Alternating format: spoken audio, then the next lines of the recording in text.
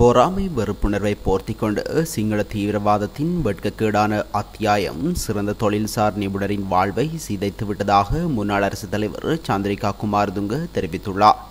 குருநாகல் வைத்தியசாலையின் மகப்பேறு மற்றும் பெண் நோயியல் பிரிவின் விசேட வைத்தியர் சாபி சிகாப்தீன் தான் பணி இடைநிறுத்தப்பட்டிருந்த காலத்திற்காக தனக்கு வழங்கப்பட்ட வேதனத்தை அத்தியாவசிய மருந்துகளை கொள்வனவு செய்வதற்கு வழங்கியிருந்தார். இது தொடர்பாக முக புத்தகத்தில் கருத்து வெளியிட்ட போதே முன்னாள் அரசு தலைவர் சந்திரிகா குமாரதுங்க இதனை குறிப்பிட்டுள்ளார்.